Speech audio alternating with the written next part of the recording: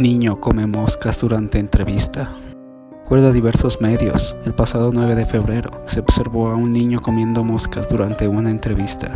Fue entrevistada en un programa llamado The Project del Canal 10 para opinar de las fuertes lluvias que han caído en la localidad de Australia.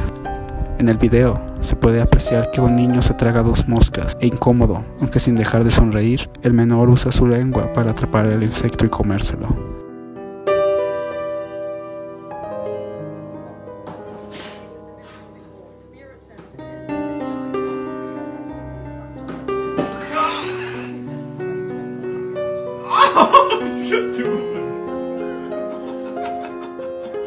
¿Qué opinas tú al respecto?